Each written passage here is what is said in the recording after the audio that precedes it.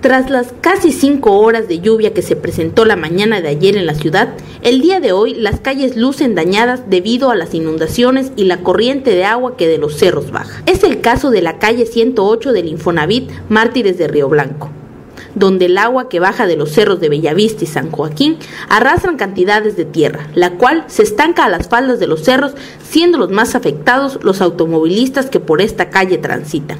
En otros puntos de la ciudad, las inundaciones ocasionan el incremento del volumen de los baches que ahí se encuentran. Inclusive, en las calles en las que el nivel del agua no ha bajado, resulta imposible saber dónde se encuentran. Como dicen los campechanos, más vale bache conocido que calle por conocer. Con imágenes de Roger Kawich para Tiempos Campeche, Verónica Astorga.